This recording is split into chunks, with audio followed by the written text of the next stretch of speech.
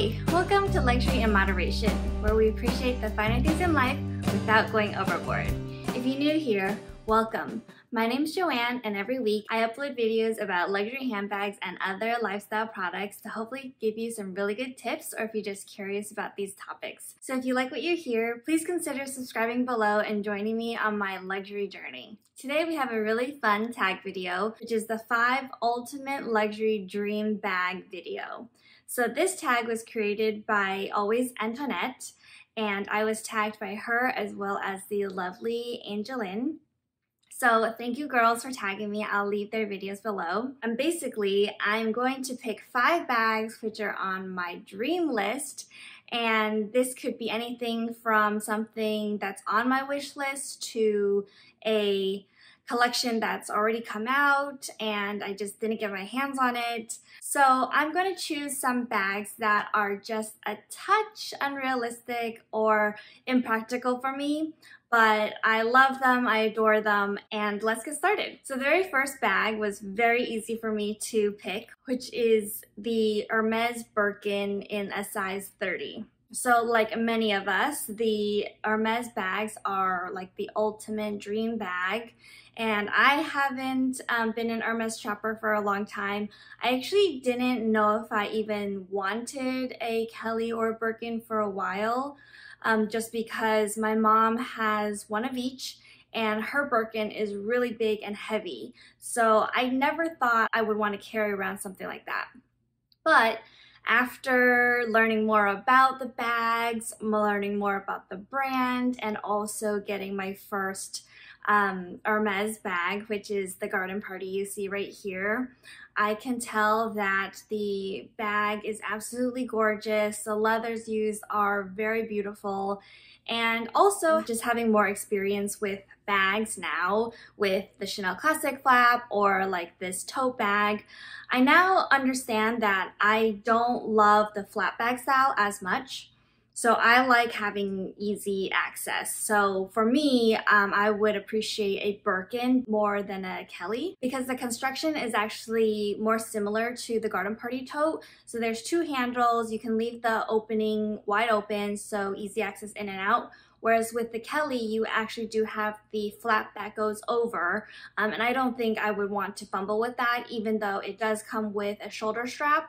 I think um, now that I understand my bag preferences, I think that I would want a Birkin. And then in terms of size, like I mentioned, I wouldn't want anything too big because most of them are all leather and that of course makes it very, very heavy. But at the same time, I don't want it to be too small because I do like carrying around a lot of things with me. I do like carrying bags on the crook of my arm, so maybe like a size 25 would be too little. So, so far, that's all I know. That's on my wish list. Uh, Birkin 30. I'm pretty open to colors. I don't wear a lot of like green and yellow, but other than that, I think I would be pretty open. So let's just leave it at that. So then the second bag that is a dream bag of mine is a bag that I have been thinking about and lusting after for like 10 years now and that would be a bag in the Louis Vuitton watercolor canvas.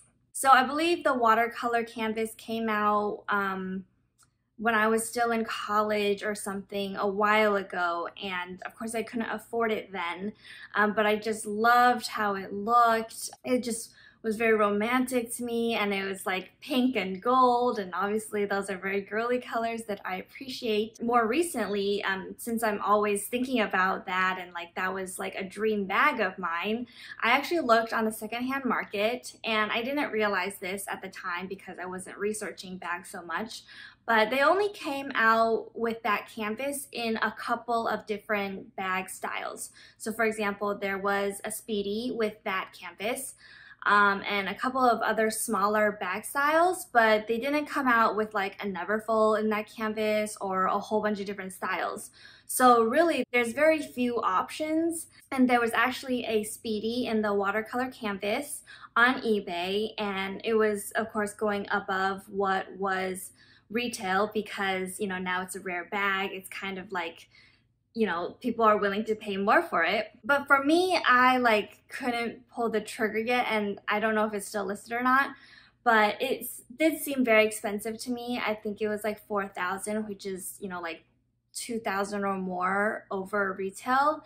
And also, I don't think that I would enjoy a Speedy very much just because the combination of the one zipper on top and the big, you know, kind of black hole that you have with the Speedy silhouette, it's kind of hard even if you put in a bag organizer, which I don't love to do. Um, that one zipper on top kind of makes it hard to get in and out of still because the top, you know, kind of folds over like the Speedy shape and the sides are structured that way as well. So it's not like you can like leave the opening, like you can't fold it over, right? So that's another reason why I didn't pull the trigger on this bag, why I'm not sure if I will ever be able to pull the trigger on a watercolor Speedy. Um, all the other styles that the watercolor canvas came in, I wasn't a huge fan of, um, at least not in this point in my life.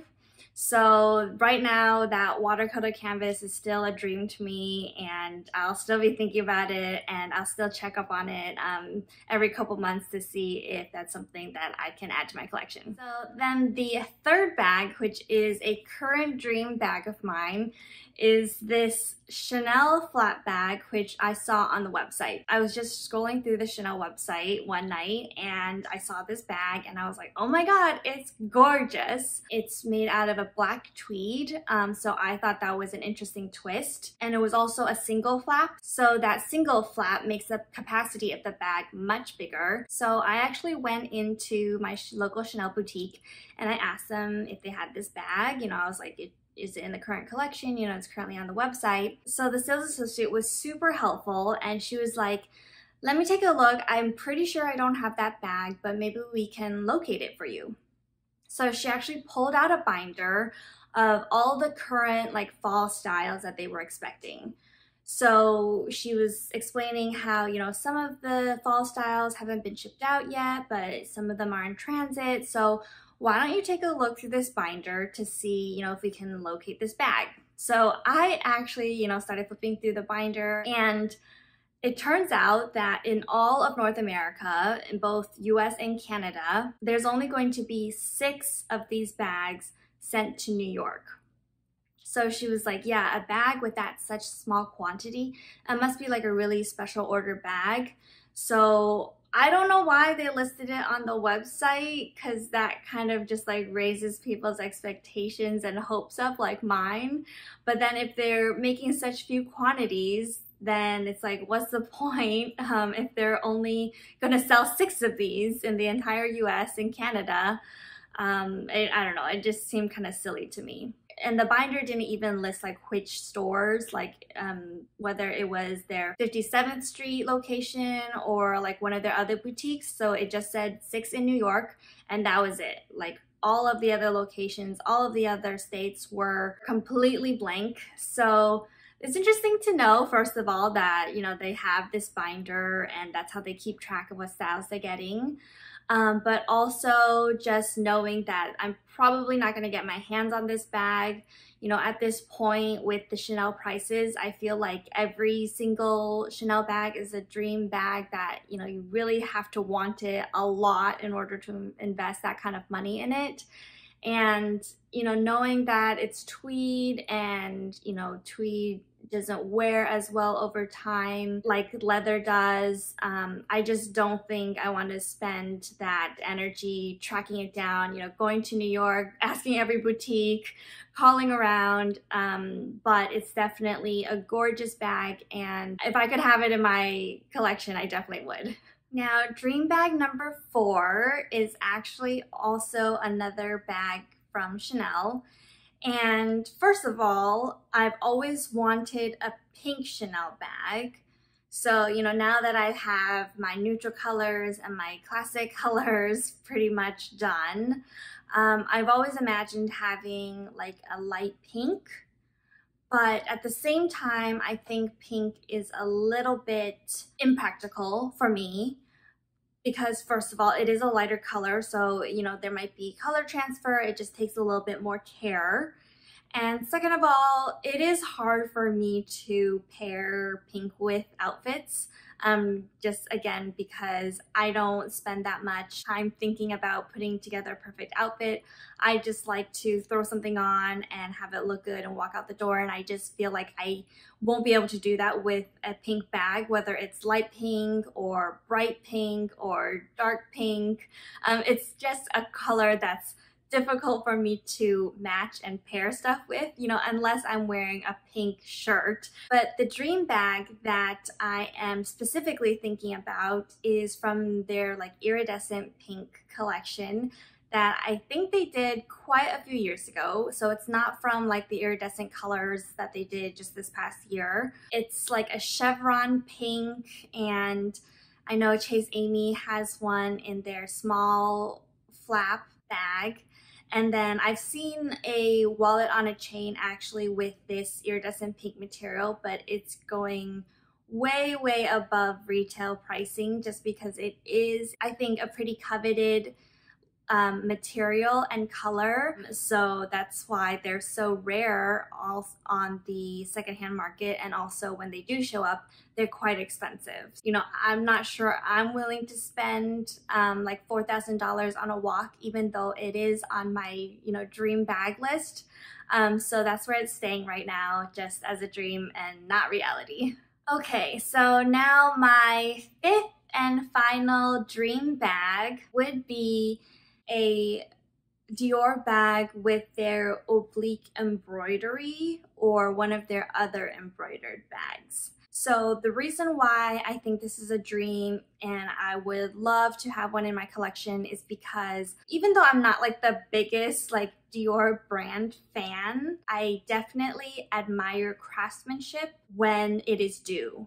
And for the Dior embroidery, that is absolutely true. You know, you can definitely tell um, that some artisan spent a lot of time creating these beautiful bag creations, you know, whether it's their oblique Dior repeated, the tiger that's embroidered on the book totes. I think those are definitely works of art. Um, but at the same time, it's like, I would be so worried about getting that dirty. And because I see them as works of art, I would be worried about taking that out and actually putting things in it. Um, so I would want to just display that and, you know, admire it from there. But again, that's like so impractical. I feel like for bags, you should have the enjoyment of, you, of using it. So that's why um, it's on my dream bag list. You know, if I ever get to a point in my life where I have more than enough money to just buy a Dior bag as a display piece, that's probably what I would spend it on. But at this point in time, that's not feasible. So it's a bag that I can admire from afar. So that's it for today's tag video. Please let me know what you thought in the comments. You know, if you agreed or disagreed with any of my picks or please feel free to share your five ultimate luxury dream bags as well. I'm to tag a couple other YouTube ladies down in the description, so make sure to check there and please subscribe if you haven't already. Thank you guys so much for watching and I'll catch you in the next one.